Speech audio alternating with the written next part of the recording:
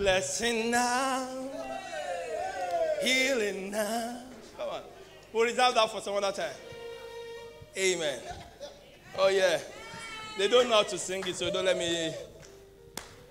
Amen. Praise the Lord, somebody. If you're happy to be in church this morning, come and shout, Amen.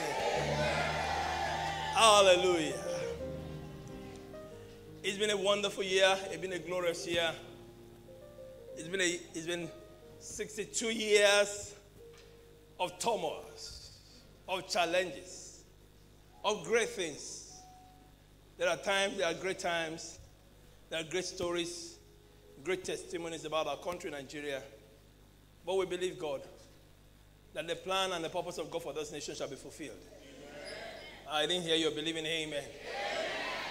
No matter what your plans might be, your plan might be to jackpot in the next few days, in the next few weeks, in the next few years. But one thing remains Nigeria is flowing in your blood. Yes, this is your origin. This is where you belong. That is why you see every man, every woman in the diaspora today, they are raising up their voice. Are they not comfortable where they are? They are. Are they not doing well where they are? They are. But they cannot keep silent again. Why? Because they are first and foremost Nigerians. No matter what you become anywhere in the world, when they're going to describe you, they are going to describe you by your origin. Nigerian born Kemi, Bene, whatever. What's her name again? Badenoch. They will still put it there. The day she's, she's doing well, they will tell you she's British. But the day something comma happens to her, they say Nigerian born British.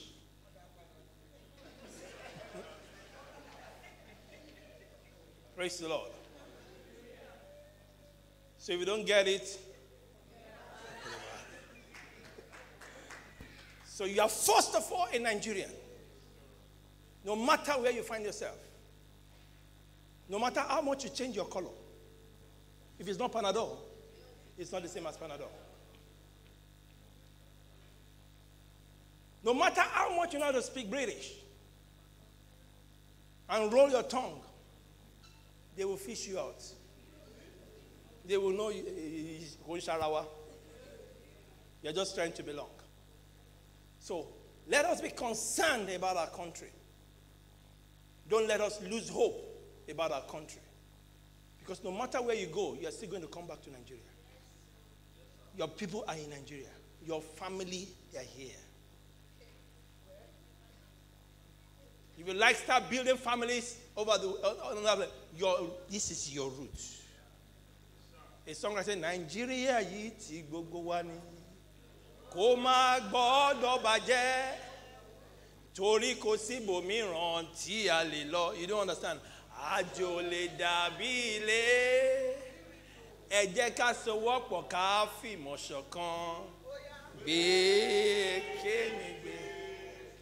That is, say, that is saying that Nigeria is, belongs to all of us. It must not scatter, it must not spoil in our hand. There's no other place we want to go to.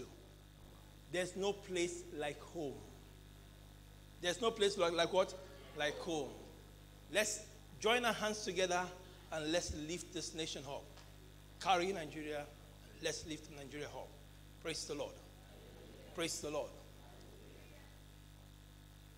I'm preaching from the book of 1 Timothy chapter 4 verse 1.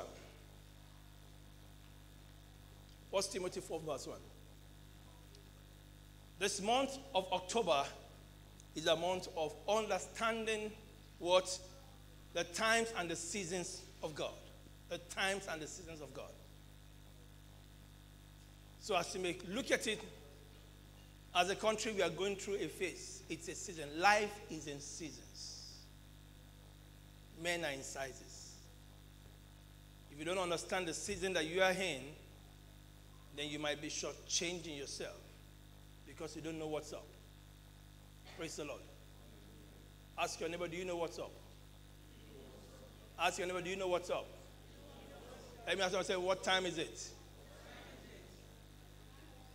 Everything is all about timing. Amen. So, Here in 1 Timothy chapter 4, chapter 4, I have just 17 minutes to do this. The Lord will help me in Jesus' name. Now the Spirit, the Spirit speak expressly. Come and say expressly. expressly.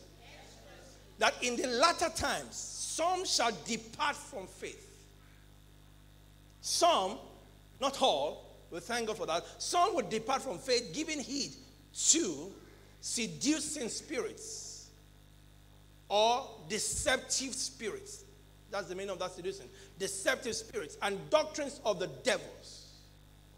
Speaking lies in hypocrisy, having their conscience seared with hot iron, forbidding to marry and commanding to abstain from meats, which God had created to be received with thanksgiving of them which believe and know the truth. For every creature of God is good, and nothing is to be refused if it be received with thanksgiving. For it is sanctified by the word of God and prayer. Verse 6 If thou put the brethren in remembrance of these things, thou shalt be a good minister of Jesus Christ, nourished up in the words of faith and of good doctrine, whereunto thou hast attained. Amen. If you can put it on amplified version on the screen, I would love that. Here we see Apostle Paul writing to Timothy, who is a bishop of the church as a den, that the Spirit of God speak expressly. The word expressly there is also meaning that the word is speaking quickly, is speaking expediently. It's speaking about something that is going to happen, is unchangeable. That in the latter days, these are the things that will happen. Praise the Lord. In the, in the latter days, these are the things that will happen. That is to say, it's speaking expressly saying that these things that I'm saying will happen will abound to happen. Nothing can change it. You cannot pray it out of the way. You cannot pray that the end will not come because the end will come. No matter how much you enjoy this life, you cannot pray that Jesus will not come. Jesus is coming back. Let me tap your neighbor say, Wake up. Collect your money. Jesus is what is coming back. Though it tarry, he will come. So no matter how much you enjoy this life and enjoy what you're doing, live your life like the world is going to end tomorrow. Plan as if the world will never end. You might want to write that down. Live your life as if tomorrow the end will come. But plan as if the end will never come. So that does not remove the place of planning. So don't say because Jesus is coming tomorrow, I fold my hands, I'm doing nothing. I'm waiting for Jesus to come. While you're waiting, keep doing what you're supposed to do. Keep fulfilling purpose. Keep running your race. Keep doing what God has assigned you to do. So what now Paul is writing to Timothy that if you put the brethren in verse 6, he said, If thou put the brethren in remembrance of these things, thou shalt be a good minister. So I want to be a good minister. So I'm reminding you that the end is at hand. It might not be an interesting message that will want to make you to jump up. Hey, it is interesting. Because there are two parallel direction to this message. When we hear that the end is coming, all that rings in our mind is doom. You remember the words Armageddon. Remember the word tribulation. That is all that you remember. You remember the word of the Antichrist. That is what we always remember. And that's why we don't want to talk about it. We don't want to talk about the bad side. But it's written. He said, I speak to you expressly. It will come. However, on the other hand, the other parallel side that while that is ongoing, there's another glory side of the hand.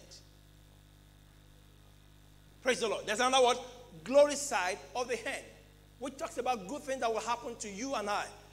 We talk about good things that will happen to people who love God.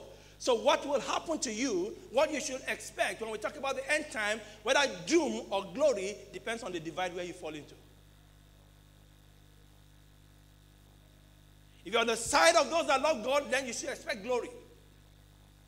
If you're on the side of those that don't love God, that don't, don't want to hear about God, then you should expect doom. Because as the enemy is trying to ensure that people go through suffering, God will ensure that his own people go through good times. So it's a time for the church. It's a time of glory for the church. The message of end time is a time of glory for the church. The message of end time is a time of the supernatural for the church. It's time of the advancement of the gospel of Jesus Christ. It's a time when the church will emerge and take a place. It's a time when you as a Christian will flourish. Praise the Lord. Also, it shall come to pass on that day that how many, how many women would tie to one Jew and say, Let us follow you? Let's just answer, let us go to where your God is. It's a time when you will shine and the kings will come to the brightness of your rising. When nations will come to the brightness of rising. It's a time when things will begin to happen on the other side, but what is happening on the other side is not happening to you. So people on the other side will look at your side and say, What is happening there? Can we go there? It's a time when you will shine and you attract many to the kingdom of Jesus Christ.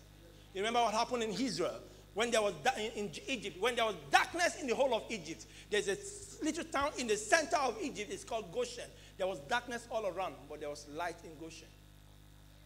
Praise the Lord. Either you like it or not, the Bible says in the book of Isaiah chapter 61, 60 that darkness shall cover the head and gross darkness the people. But the Lord shall what? Shall rise upon you and his glory shall be seen. This is a time for you to become more relevant. Because the darker the darkness, the more relevant the light. When the world is dark and gloomy, that is when your light becomes relevant. Praise the Lord. No matter how tiny your light is, if you switch off the whole of this place, if you are the only one that has a mobile phone that has a light, everybody will follow you. Your light. Because you are the only one that knows the way. Am I making sense? Said, the darkness shall cover the earth and gross darkness people, but the Lord will arise upon you and his glory will be seen upon you. A nation, kings will come to the brightness of your rising. Praise the Lord. So that is where we are going to be emphasizing. We are emphasizing the glory that you are about to enter into in this end time. Come say, I'm about to enter into glory. Come say, I'm about to enter into glory. A glory that you have never seen before. Tap your neighbor say, I'm about to enter into a glory. I'm about to enter into a realm of glory that you have never experienced before. Say, look at me now. It doesn't matter what you see now. There's a glory that is coming on me that is indescribable. Thank you, Jesus.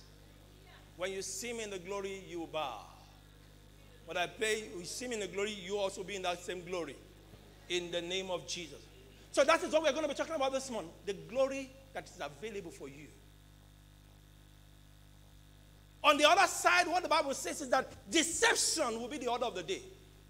And that's what Jesus, Paul was writing to, to, to, to, to Timothy. That in the latter days, in the last days, what last days there is what called eschatos. Praise the Lord. I might not have time to break it down to you, but just watch this space. This month, you receive the kind of teaching you have never received before. Your hair will, your head will swell in the name of Jesus. So whenever I stop here, I continue on Thursday. I beg you, don't miss any of those messages because it's a series. Eschatos, is, that's where we have the word eschatology, which is the study of the end times. That's the last days. The last days, what that last day doesn't mean the last day. The last day, that is the last of the last of the last. I've told you before, when, I, when, we, did, when we did this topic some two years ago, the last of the last. When, like when you want to describe the last day of the month, of the last day, the last day of the month of December, of the month of the last the month of the last in the year and the year of the last, the last of the last, the eschatos. So we are not just in the last days, we are in the last of the last days. Amen. If you go to quickly go to book of Matthew chapter 24. Matthew chapter 24. Praise God, somebody. In Matthew chapter 24, you see here, the Bible says in verse 3, and the disciples sat on the Mount of Olives and he sat upon the Mount of Olives with the disciples, and they came to him privately, saying, Tell us, when shall these things be? And what shall be the sign of thy coming and of the end of the world? That's the disciple they were asking Jesus, when will these things be? What shall be the sign? Nobody knows when the end will be. So forget it. It's all deception. If somebody tells you that the world is going to end in 2027 or 20, whatever, nobody knows. Tap your neighbor say, nobody knows.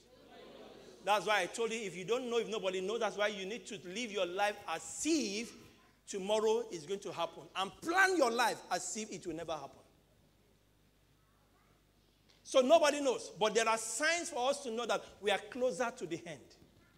And those are the signs that we're asking. We say, what, when shall these things be? And what shall be the sign of thy coming? The sign of the latter days. And look at the first thing that Jesus said to them. And Jesus answered and said to them, Take heed that no man what? Take heed that no man what? Take heed that no man what?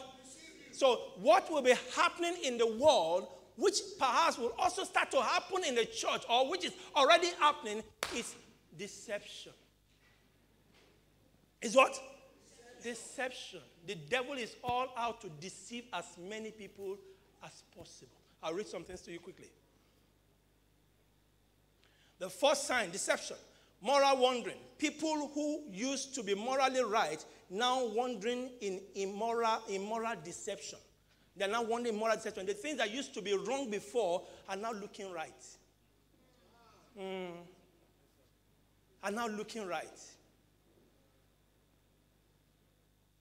Praise the Lord. I was at the swimming pool yesterday and I saw a lady came out of the swimming pool. Father, that is the word. Father.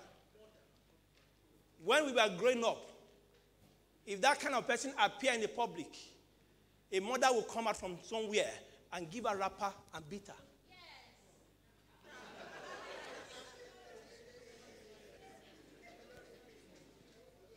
But today, but in the spirit of all inclusiveness, we tolerate a lot of things. A lot of things are happening now, they are even applauding them. So the things that used to be wrong in our sight before, now, if, if we say it's wrong, they say you are, you are, you are, hate, speech. You are not contemporary. So that's why I said many would depart, not that they reject there are two different They don't reject the faith, but they depart from the faith. Departure means that they begin to move, deviate slightly from what used to be right. The scripture now, the Bible says, some people will say the Bible is an hate Bible. As someone was saying that every other book has gone through revision, they have revised the, the dictionary. Because if you go into the dictionary now and type um, marriage, define marriage, if you see the contemporary definition of marriage, you shut it because it's all inclusive. But if you go to the old dictionary, I will tell you marriage is a union between a man and a woman. But today, it is no longer a man and a woman. Marriage is the union between two parties. So the two parties can be anything. Can be two human beings, can be two animals, a man and an animal, a man and a bird, a man and his dog. A man and a tree, whatever. Praise the Lord. I don't know what to do now. I have four minutes.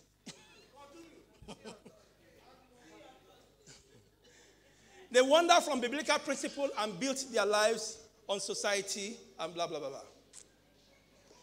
It means a moral con- concussion. People are morally confused now about their sex. People are morally confused about their sex. When they, when, they, when they give birth to a child in, in some, of, some countries now, they don't put in their birth certificate male or female.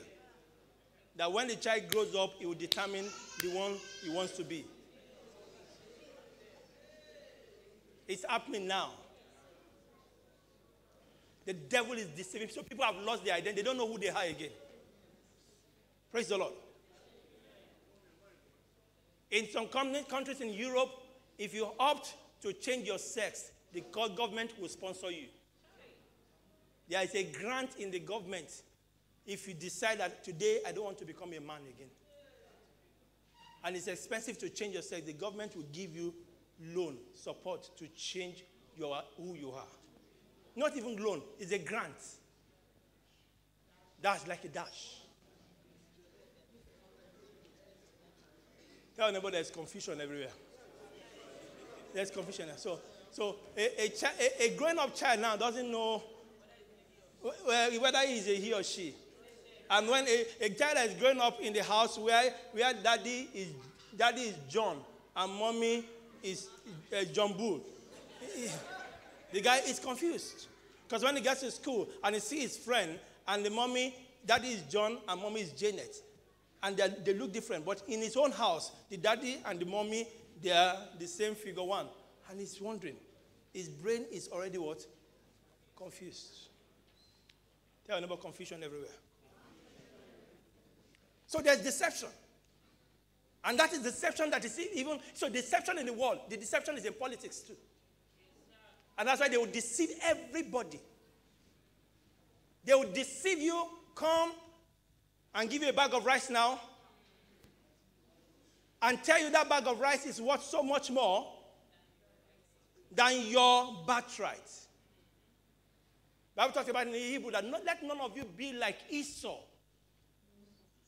who for the for the, a plate of meal sold what is birthright. It's deception. Take a plate of food and give me your birthright. Because your birthright now does not have any tangibility in your hand. The same way your PVC does not have any tangibility in your hand. But you think that this PVC, what will it buy me? If I exchange this PVC for 2,000 naira or for 4,000 naira? 10,000 naira. How long will the 10,000 naira? So it's a deception. It's a transaction that is, that is, that is uh, shrouded under deception. And that's why we must wake up as a country. Praise the Lord. So while that deception is going on in the world, you are the chosen generation. You are the light of the world. You are the one that God has put. So because the, the, the, the cure for deception, the cure for ignorance is knowledge. It's knowledge. We must be discerning discerning spirits. And that's what I want to talk about. And I'll continue that on Thursday. We must have the discerning spirit, and God has poured his spirit on us. Bible talks about the children of Issachar. Let's go there quickly. The children of Issachar in the book of Chronicles. Thank you, Jesus. Where's that Issachar story? First Corinthians chapter 12, verse 32. And of the children of Issachar, which were men that had understanding of times to know what Israel ought to do. The heads of them were 200, and their brethren were their command. If you read that scripture, it was talking about the lineage of children of Israel. They were all in large numbers. The smallest of them were the children of Issachar. They were just 200. But they were the one that was ruling and reigning over their brethren because they understood, they know what time it is. They know what Israel ought to do per time. They have understanding of the times and the season. So the spirit of the children of Issachar is the same spirit that God has poured upon us on the latter days. So if you go to Joel chapter 2, the Bible says, on the last days he shall pour out his spirit. Joel 2 28. He will pour out his spirit upon us. The same last days, when there will be deception, the same last day, God is pouring out his spirit upon his people to give them understanding. The devil is pouring out the spirit of deception upon the world to make them not to understand, to make them follow after their feelings.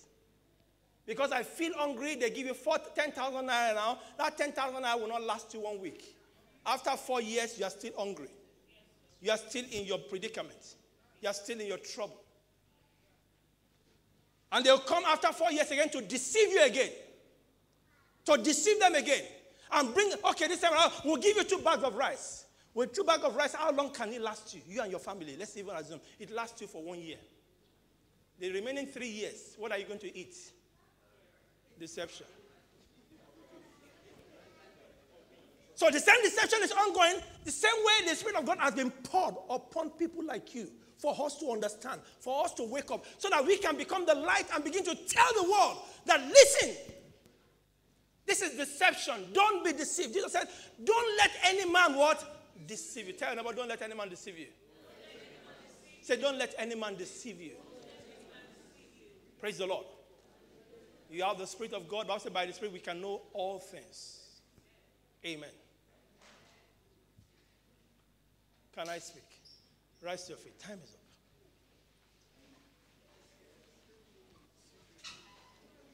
Tell neighbor, let no man deceive you. Say, let no man deceive you. Your responsibility as someone that carries the light is to do what? When you carry the light, what are you supposed to do? Shine. So it's not time to be quiet. It's not time to be silent. It's time to what? Sorosoke. And speak out. When you see people doing the wrong thing, tell them they are deceiving you. Praise the Lord. Tell them they're deceiving you. Enough is enough. We need to come to that understanding that this country belongs to us. Whatever we do now, our children will live to see it. Amen. We'll talk more on Thursday. I leave you with the scripture. Thank you, Jesus.